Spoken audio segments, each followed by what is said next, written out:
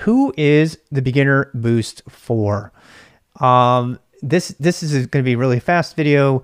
The beginner boost is basically for anybody who is just starting out in tech, um, and and that's the primary target audience is is those who are trying to start out in tech, whether it's a tech career or they're retired and they've always wanted to learn something in tech. I've had all kinds.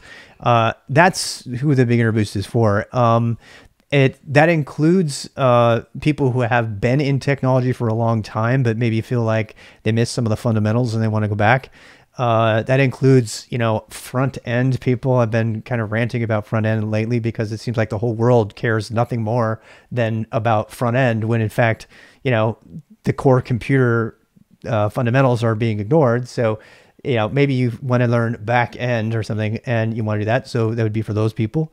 Uh, and and that pretty much covers it. So it's it's and it's, honestly, it's for anybody who wants to learn about Linux, uh, containers, and coding.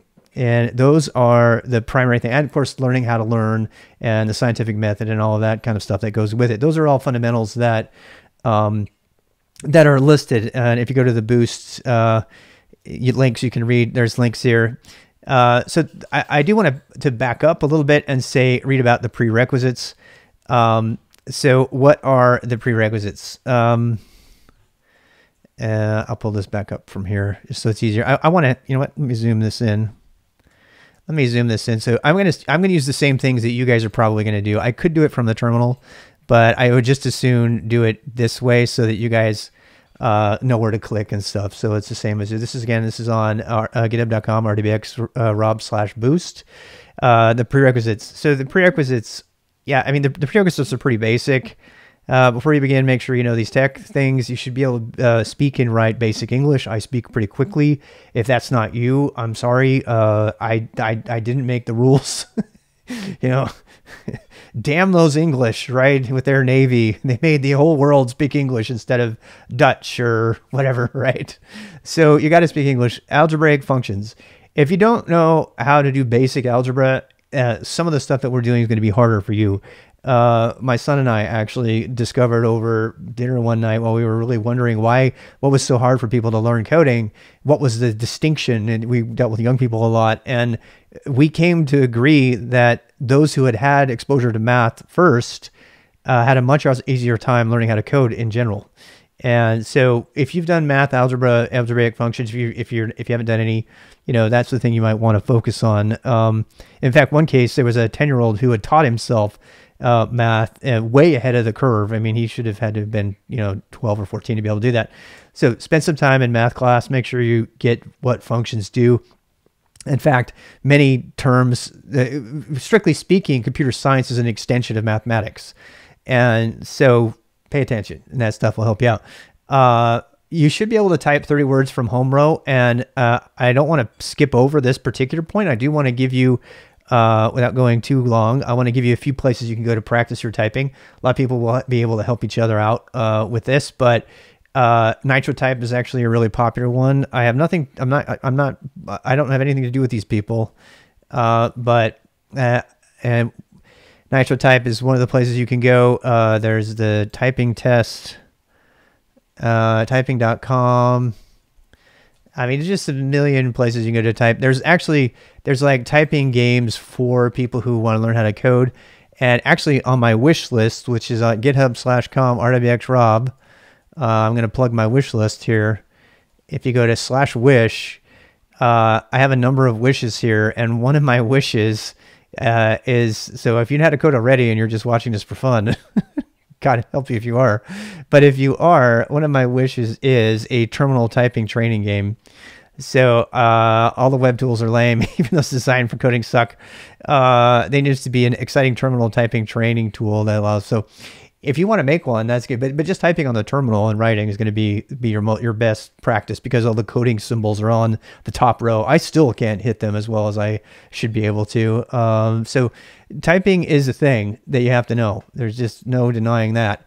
Um, and then and from home row, by the way, none of this hunt and peck. If you're hunting and pecking, that's fine. I actually saw a kid. This is this is a true story. It's a fun story. I saw I saw a guy that I was, was teaching. He this is how he typed he was like fully home row from this hand, and this hand was this. And I was like, how how did that turn out to be? Turned out he was a gamer. And he had really great dexterity in his left hand because he had been doing, you know, WASD for all of his games of Minecraft and stuff, but he had never developed his right hand home row typing. This is literally, and you should see how fast he was. He was on this. It was it's the craziest thing. Anyway, um, so uh, wait, keybr.com. Oh, we have another another recommendation here. Let's go look at this one. Uh, yeah, let's look at that one for sure. Yeah, learn to type faster. Here's another one. Let's go look at this one. Uh, web application to learn to type. Ooh, look at this. this. I didn't know about this. This is why this is so great having a studio audience. Um, and somebody else said monkeytype.com. That's it. That was fun too. So monkeytype. This is this is one of the greatest things about doing this in this way because so many people bring to things to the table that I that I don't even know about. So there's two more things you can try. All right back to the requirement. I don't. I'm. I don't want to run over my time. Uh, somebody else got another suggestion. Keybr helped me a lot. Nice guys. Thank you so much. Thank you so much for bringing that up. Um, so own a computer with admin access. I have to put this because I've taught private school before, and uh, I've had people like delay the whole class like two days because they didn't have admin access to their system to put whatever on there. And that at the time it was VS Code that we were using and they couldn't put it on there. So you have to have a computer and you should have admin access on it. You're going to need to install Docker and a bunch of other stuff. And if you don't know how to do that or you don't know what that is, stop right now or for your homework for the next 24 hours is to figure out how to do that. You, you, you got to have this. You can't do any of what we're going to do without actual access to your computer. Uh, if your if your mom or dad need justification, say, Mr. Rob told me I needed to do it. And by the way, don't use your mom's or dad's computer. The Docker containers are going to save us from a lot of mishaps, but it's probably better for you to have a computer that uh, that you know if you do something wrong, no one's going to die, right? Um, and I mean, some people, I mean, some parents would get really bent out of shape uh, okay. Oh yeah, you're 70 words per minute. Awesome. So um, you need to know how to manage your own passwords responsibly. And I am not going to spend a, uh, a, lot of time talking about this. I've done other videos on this. Uh, people ask me what my method for managing my password is, and I'm just going to tell you, and I'm not going to say anything else about it. I use KeePass XC, but it is rather complicated password manager for me. Uh, their sessions are recorded, yes. So uh, keepassxc.org. This is it. So uh, this is my preferred password manager. Everybody's got an opinion on this. Uh, I I I don't have anything negative to say about other people's choices except for be sure they haven't been hacked. Uh, there are a couple password manager sites that have been massively hacked. I won't say who, but uh, I I fundamentally disagree with with storing passwords on any cloud service at all, even though a lot of businesses depend on that. Um, I don't. I, I have my passwords are on a USB stick and I use a, a YubiKey for that, but that's probably going too far for today. Um, if you want to do that, yep, there you go. So, um, but honestly, a, a book, a notebook, a notebook and a piece of pens, uh, a paper, you know, a piece of paper and a pencil is fine. Just be responsible and learn and remember your passwords. The one th- I almost made a whole system just for that, for that one thing, because nobody could remember their passwords of SkilStak over eight years. Every single time, I'd have adults. I had I had a, a 18 year old forget his Linux login password, had to re-image his whole computer. don't don't do that. Be responsible. The most important thing that you need to learn in terms of technical responsibility is going to be maintaining your passwords. The one thing that makes you look like a fool more than anything else in the technical realm is having to forget your password or your PIN or something. So create a strategy for this. And I'm assuming you have that strategy in place. I'm not going to help you with that if you forget it, you know, tough beans. You just need to create a system for yourself that you, and I'm not going to tell you what to do. Everybody's got a different system you come up with your own system. And if you guys want to collaborate in the chat or in the Discord and ask each other what they like and this one or that one, that's fine. But just do it, okay? Because we're not going to deal with that. Uh, you need to, uh, by the way, the best password is a long password, not a complicated password. Okay, let me say it again. The best password is a long password, not a crazy password. Like a sentence that you'll remember where you may have swapped out some of the letters for numbers. That is the safest password possible. It's counterintuitive, but this most best the most best password is not limiting it to eight characters and making them all wacky weird things you can't remember. It's actually not safe to do that. It's safer to make a long passphrase, which is the preferred term I like, uh, that you can remember that's got that's got stuff in it. Okay, and and use a different one every place you go. So search bookmarks. Uh, and browse the web. I mean, this goes without saying. If you're here already, you already know how to search, bookmark, and browse the web. It's possible that some people are coming, they're watching this on their parents' YouTube or something like that, and they don't really know how to browse the web yet. Uh, I've dealt with people as young as eight or nine years old who they're just watching videos on an iPad. So if that's you, uh, if that describes you, then you're, you're probably a little young for this particular session, but that's fine as long as you know how to search the web, uh, bookmark it, and browse it. And I'm not going to go into detail. I am going to tell you the search engines that I use. I use DuckDuckGo for searching, uh, DuckDuckGo.com, which is not as good as the searching, but it's it's not Google. Uh, and sometimes I'll go ahead and use Google. You'll see me using this a lot of times from the terminal as well. So that's what I do for searching. Uh, people ask me all the time, what web browser do I use? I'm only going to talk to, talk about it now. I'm never going to talk about it again. I use whatever web browser is on the system by default, which means that I'm on a Pop OS system. I'm using uh, Firefox, which comes with it. Uh, I use I, I use Chrome on occasion and turn the stuff off of it. I use Brave for a long time, uh, despite the controversy. I'd rather not talk a lot about browser wars right now.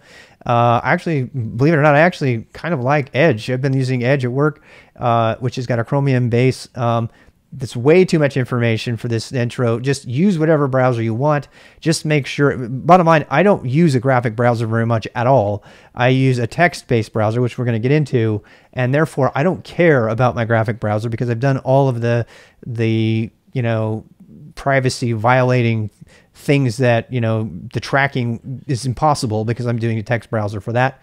And then when I get to the actual page I want to see, if there's something graphic on it that I can't see through text, then I pull that page up and I, I bypass all of the concerns that most people have for browsers being spied on and all that other stuff. There's no cookies or anything in a text-based browser. So the, my selection of a text of a, of a graphic browser does not matter as much as it does to other people.